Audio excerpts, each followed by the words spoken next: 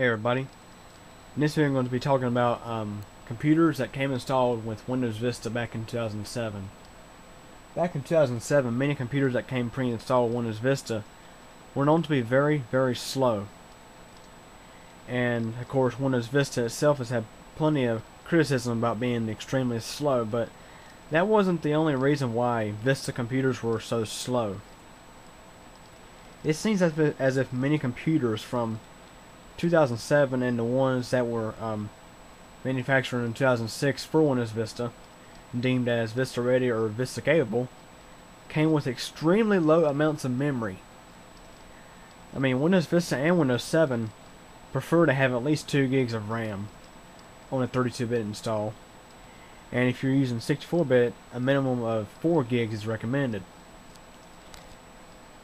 This is a Compaq Presario C700 that I got in for service, doing a Windows reinstall on it, and um, this machine only has one gig of RAM, and here we are running Windows Task Manager, a couple of Windows Explorer windows, AVG antivirus, and a Java setup installer, and we're using 68% of the installed memory.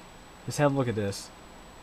We're not even running a browser or anything, just sitting here idle run a couple of little programs. And here we are using over half the memory. And just about 10 minutes ago, it was almost all the way up to 100% usage. It was up to at least 95% used in terms of the RAM. And when you have this much memory getting used up at such a quick pace, the computer gets extremely slow because it has to run with um, what's called virtual memory on the hard drive. And the hard drive itself is one of the slowest components in the computer because it's mechanical. Now, of course, solid state drives are a whole lot faster. But, like I say, um, many Windows Vista computers that um, came out right after Vista was released and um, before Vista was released that were deemed ready for Vista seem to have um, a lack of adequate memory to run Windows Vista. And that's why you'll commonly find that your Windows Vista computer from, let's say, 2007 was extremely slow. And um, if you're wondering if there's a fix for this, sure there is. Um, all you have to do is add some additional memory to computer.